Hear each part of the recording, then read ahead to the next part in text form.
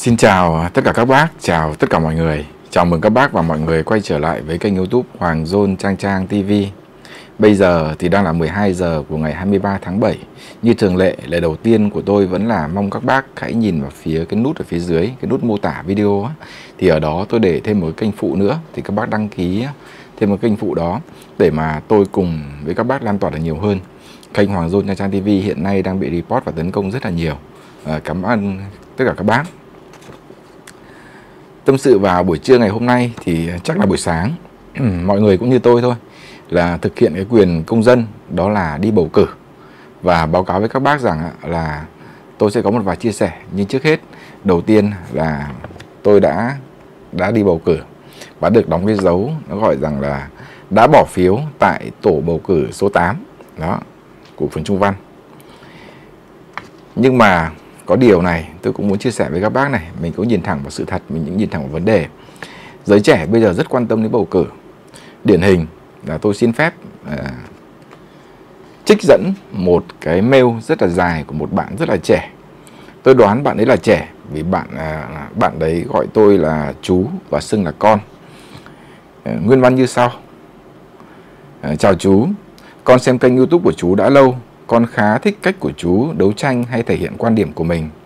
Hôm nay thì là ngày đi bầu cử và đây là lần đầu tiên con được đi cho nên con cũng không có nhiều hiểu biết về bầu cử cho lắm, mặc dù tìm hiểu trước ở nhà. Do đó con cũng có một vài thắc mắc liên quan tới vấn đề này. Ở địa phương con có một ứng cử viên thì chưa tròn 21 tuổi, tức là sinh ngày mùng 3 tháng 7 năm 2000, nhưng lại được ứng cử vào Hội đồng Nhân dân cấp phường con đã tìm hiểu luật thì thấy căn cứ vào điều 2 của luật bầu cử đại biểu quốc hội và đại biểu hội đồng nhân dân có quy định như thế này, như là bạn đã trích dẫn hẳn một cái điều luật ờ, quy định của luật bầu cử luôn. Thì ờ, quy định về tuổi bầu cử và ứng cử thì có viết tính đến ngày bầu cử được công bố thì công dân nước Cộng hòa xã hội chủ nghĩa Việt Nam đủ 18 tuổi trở lên thì có quyền bầu cử và đủ 21 tuổi trở lên thì có quyền ứng cử vào Quốc hội, Hội đồng Nhân dân các cấp theo quy định của luật này. À, vậy thì có phải là đại biểu này không đủ tiêu chuẩn ứng cử không ạ? Và nếu đúng sai thì luật phải xử lý như thế nào? Tình à, hình tiểu sử ứng cử viên thì đính kèm ở đây. Và con hy vọng chú có thể giải đáp thắc mắc giúp con được không ạ? Con cảm ơn chú. Thế thì à, xin phép bởi vì kiến thức của Hoàng Dôn này rất là nông cạn thế cho nên tôi đã chuyển một cái này cho một à, người rất am hiểu luật. Thì bạn ấy có trả lời tôi. À, nhưng mà xin phép với các bác thế này. À, trước khi vào cái việc đó ấy, thì bạn bạn đọc này là người rất là trẻ. Và lần đầu tiên đi bầu có nghĩa là đang là dưới 23 tuổi. Kênh Hoàng Dôn Trang Trang TV là kênh mà lứa tuổi rất cao chia sẻ thế. Trên 45 tuổi là chiếm đến đến đến 70% và 35 tuổi đổ lên là chiếm đến hơn 85% và dưới đó thì rất là thấp và đặc biệt cái lứa tuổi 20 25 chỉ chiếm khoảng 1 2% thôi. Đó, 20 như bạn thì 1 2% thôi.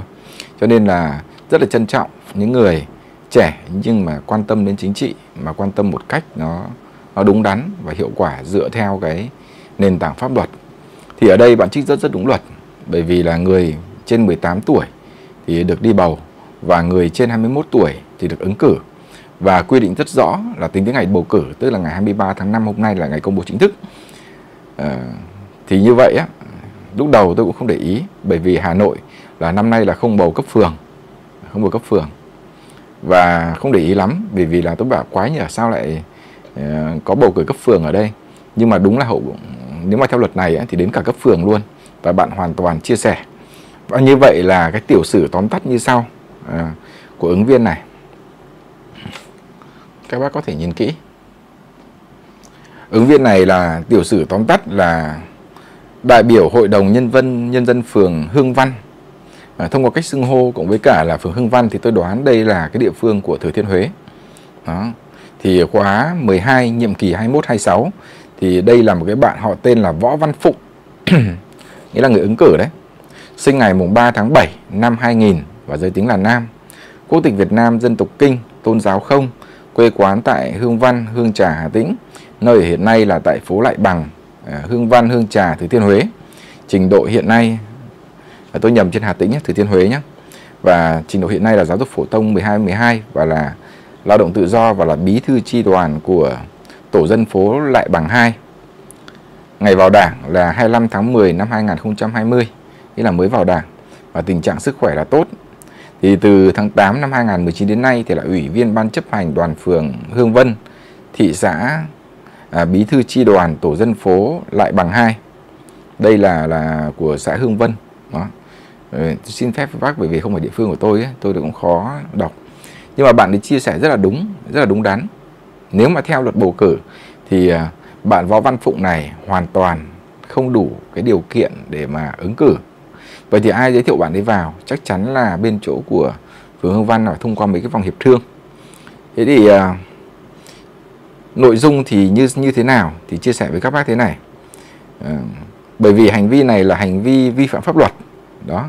Thế cho nên ấy là theo cái luật ấy, thì quy định như thế này. Người ứng cử đại biểu hội đồng nghĩa là đại ứng cử đại biểu quốc hội, đại biểu hội đồng nhân dân mà có hành vi vi phạm pháp luật, à, vi phạm pháp luật về bầu cử thì có thể bị xóa tên trong danh sách chính thức những người ứng cử hoặc nếu đã được bầu thì cũng không được công nhận tư cách đại biểu quốc hội, đại biểu hội đồng nhân dân. Có nghĩa rằng nếu mà quy định pháp luật thì bạn này chỉ bị à, xóa tên thôi. Có nghĩa rằng là bây giờ nếu mà bầu xong mà bạn ấy trúng cử thì bạn ấy cũng sẽ bị xóa tên. Và nếu như là bạn ấy có không trúng cử thì cũng vẫn bị xóa tên chia sẻ như thế. Thế cho nên đây cũng là một cái bất cập bởi vì là trách nhiệm ai giới thiệu bạn ấy vào bạn ấy tự ứng cử hay là ai trách nhiệm bạn ấy vào.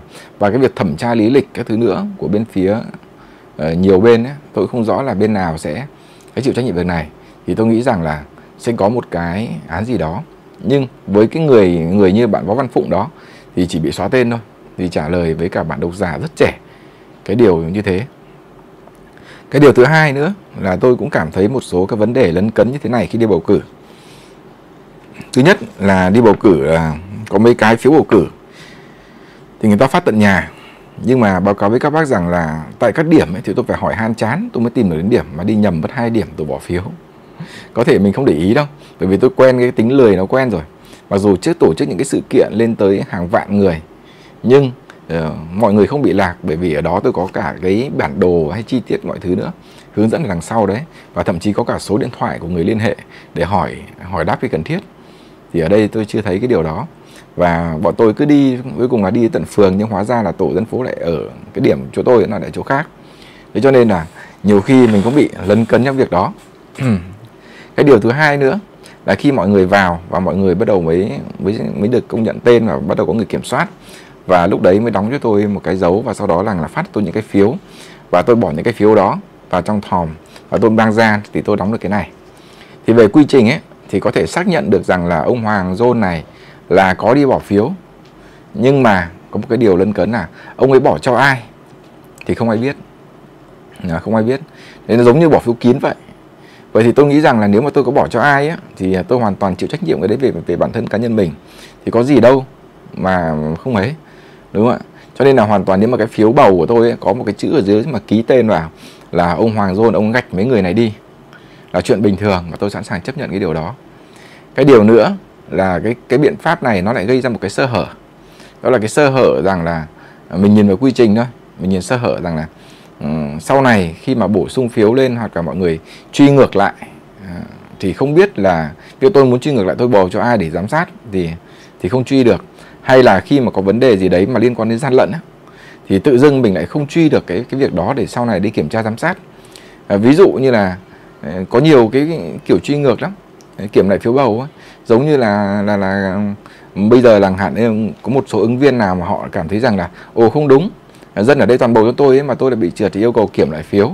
Và kiểm lại phiếu như thế thì rõ ràng là cái phiếu ở bên trong ở bên dưới ấy, mà gạch đi thế này này.